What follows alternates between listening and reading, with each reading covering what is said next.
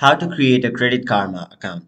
Hey everyone, welcome back to another tutorial video. In today's video, I'll show you how you can create a new Credit Karma account or sign up for Credit Karma.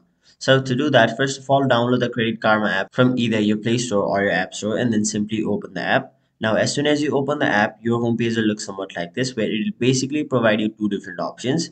If you are already a member, you can simply log into your account. But if you are not a member already, you'll have to tap on the option get started. So since we're here to create our account, we'll tap on it. Now in this space, first of all, in order to create your account, you'll have to enter your email address and then create a new password for your Credit Karma account. So simply enter both of those and then tap on the option create account.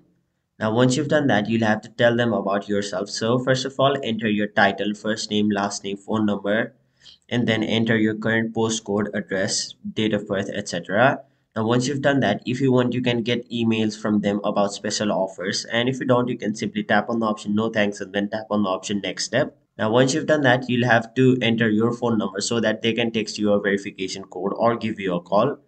So simply enter your phone number and then choose any one of the two options. You can either tap on the option text me or call me depending upon your choice and once you've done that, you'll have to fill out this space and then tap on the option verify.